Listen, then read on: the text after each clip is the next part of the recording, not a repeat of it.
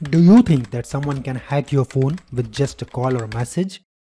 In this video, we will know if anyone can hack your phone by calling or sending a message.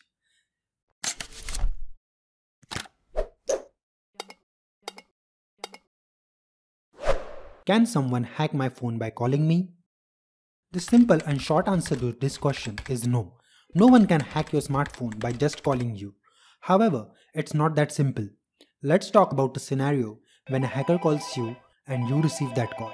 He cannot hack your phone at that stage. However, if he convinces you to follow some actions, then you could be in danger.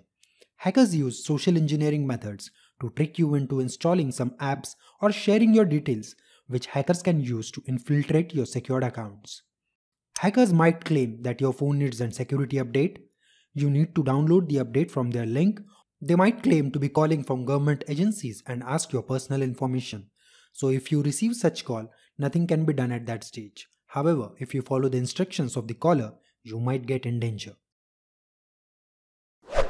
Can someone hack my phone by texting me? The next similar question user asks that if someone can hack their phone by sending a message.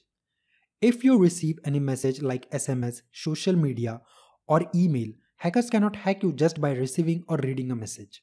However, if you follow the actions mentioned in the message, you might get into trouble. The message could convince you to tap on the link, which could download the malware on your smartphone. Hackers might say that your account password is expired and ask you to open the link to update your password.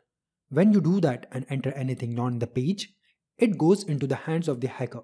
So no one can hack your smartphone by just texting you. However, if you entertain that message, that could go wrong. How can someone hack my phone then? There are several ways to hack a phone.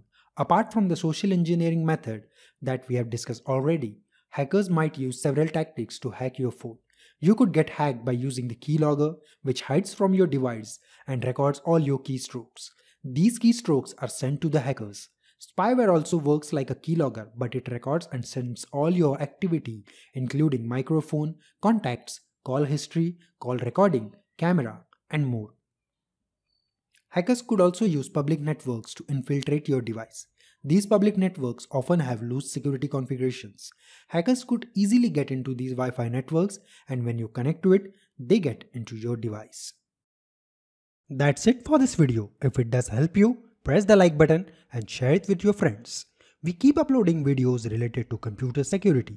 So subscribe to our channel and press the bell button to make sure you don't miss anything.